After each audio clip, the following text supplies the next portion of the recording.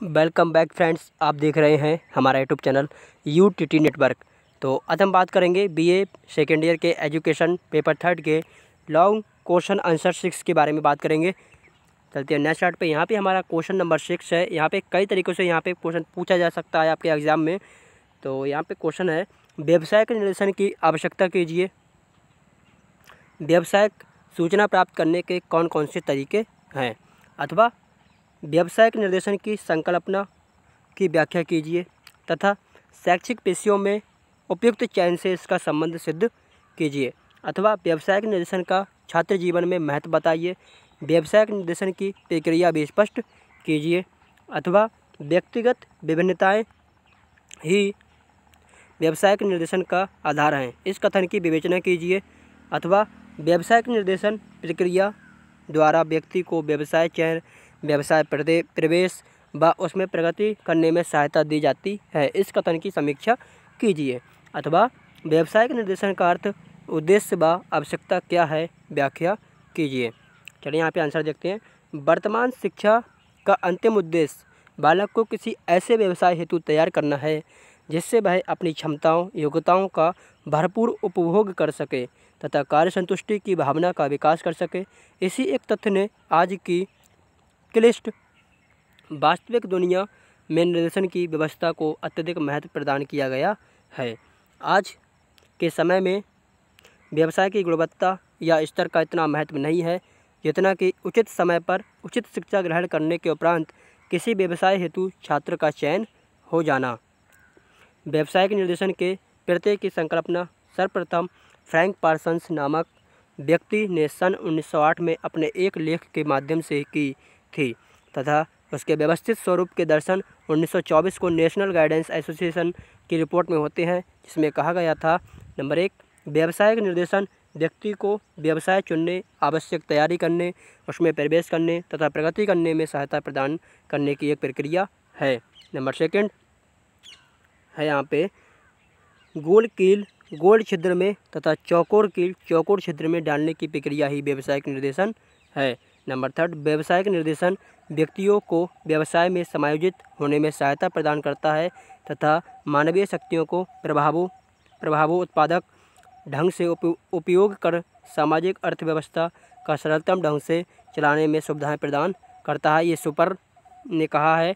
अब यहाँ पे नंबर फोर्थ पॉइंट है, अंतर्राष्ट्रीय श्रम संगठन के अनुसार व्यवसायिक निर्देशन वह सहायता है जो एक व्यक्ति को व्यवसाय चयन संबंधी समस्याओं को हल करने हेतु दी जाती है, जिससे व्यक्तित्व की क्षमताओं का, उससे संबंधित व्यवसाय सुविधाओं के साथ समायोजन हो सके। व्यवसायिक निर्देशन युवक एवं युवतियों को इस आशय के साथ प्रदान किया जाता है कि वे विभिन्न व्यवसायों की अर्हताओं, चयन विधियों संरचनाओं, आवश्यकताओं को भली भांति समझ सकें। अतः कहा जा सकता है कि व्यवसायिक निर्देशन का संबंध मुख्य रूप से उन विधियों से होता है, जो किसी व्यवसाय को चुनने और उसके साथ समायोजित होने में निहित हो, रहती हैं। व्यवसायिक निर्देशन की आवश्यकता। व्यवसायिक निर्देशन की आवश्यकता अग्रलिखित बिंदुओं के द्वारा वर्णित की जाती है। नंबर एक, व्यवसायिक जगत की जटिलता के कारण। नंबर सेकंड, छात्रों के व्यवसायिक जीवन में स्थिरता लाना और मार्गदर्शन करना। नंबर थर्ड, यहाँ पे वैयक्तिक विभिन्नताओं को ध्यान में रखना। नंबर फोर्थ पॉइंट है यहाँ पे आर्थिक रूप से आवश्यकता के अनुरूप आर्थिक विकास। नंबर फिफ्थ पॉइंट है स्वास्थ्य के दृष्टिकोण में आवश्यक। नंबर सिक्स है यहाँ पे व्यवसाय कुसमायोजन से बचाव नंबर सेवन है यहाँ पे वैयक्तिक एवं समायोजन मूल्यों की पूर्ति हेतु। नंबर एट है यहाँ पे मानवीय तत्व के पूर्ण दोहन हेतु। आजकल वैज्ञानिक प्रगति की उत्तरोत्तर वृद्धि ने व्यावसायिक संरचनाओं में आमूल चूल परिवर्तन कर दिए हैं। नवीन समस्याओं ने भी जन्म लिया है, किंतु उनके लिए अर्धकुशल, अर्धनिपुण व्यक्तियों से काम नहीं लिया जा सकता। उनके लिए आज विशिष्ट कुशल, कुशलताओं वाले योग्य व्यक्ति की आवश्यकता का अनुभव किया जाता है। यद्यपि प्राचीन समय में व्यवसाय कम थे, किंतु व्यक्ति अपने पैतृत्व व्यवसायों को आगे बढ़ाते थे, पर आज ऐसा नहीं है। आज का विद्यार्थी अपने स्नातक, स्नातकोत्तर उपाधि ग्रहण कर घर से बाहर व्यवसाय की दुनिया में कदम रखता है तो बहुचक्का रह जाता है और फिर वह बिना किसी निश्चित क्रम के इधर उधर के व्यवसायों हेतु प्रतियोगिता की तैयारी में लग जाता है। समय व्यतीत कर देता है और कई बार भयभीत होकर कॉलेज में ही आगामी शिक्षा को अपना ध्येय मान लेता है। अब यहाँ पे जानेंगे व्यावसायिक निर्देशन की प्रक्रिया प्रोसेस ऑफ़ वोकेशनल गाइडेंस निर्देशन प्रदान करने वाले को व्यवसायिक निर्देशन प्रदान करते समय दो बातों पर ध्यान रखना होता है।